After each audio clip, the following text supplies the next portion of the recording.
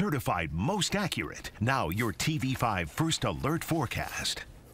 Well, good Saturday morning, mid-Michigan. We've got uh, some shower activity that we're keeping a close eye on. Now, we won't be talking about showers for everybody all day long, but there certainly will be at least a chance for a couple of folks to deal with one of these showers later. Let's talk about that right now in your Sky Tracker. We've got clouds over the area right now. We will maintain those cloudy chances as we go throughout the day. We, really, most of us should be in that cloud cover, but notice that rain there on the left-hand side of your screen that's moving down from basically uh, towards Grand Rapids and then into the Lansing and Jackson areas.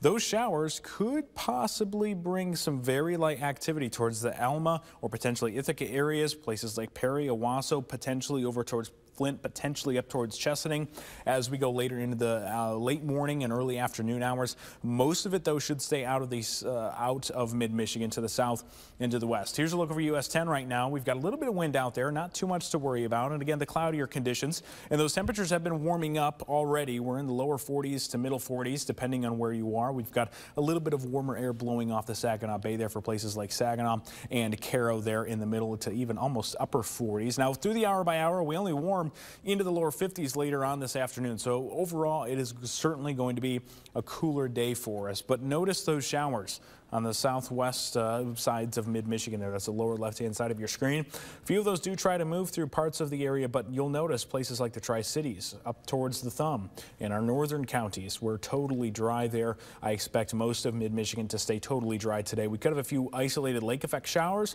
for the thumb later on this evening going into the overnight hours. Speaking of the overnight hours, we start to break away some of that cloud cover. Temperatures cooling down into the middle 30s for us there. Going into your Sunday should be all sunshine as we remain in those clear skies. Temperatures still cool though. We still have northwest winds that are filtering in that cooler air. So going throughout the day, even though we have that sunshine, temperatures likely still only making it into the lower 50s, spending most of the day in the 40s, in fact. And we maintain the mostly clear skies going into Sunday night and Monday morning. And that's going to be a big player for us as we've got the cooler air still filtering in and now the clear skies. That is going to equate to some temperatures falling into the uh, lower 30s and upper 20s across mid-Michigan. And that is going to result in a first widespread frost and freeze across the area. And looking ahead, thankfully, that should be the only night that we're dealing with that. We're back into the the 40s and 50s as we go through the rest of the week. Temperatures up near the 60s as we go into your Tuesday and Wednesday, increasing clouds and some rain chances to end our work week. Stay with WNEM TV5 on air, on the go, and online for more news and weather updates.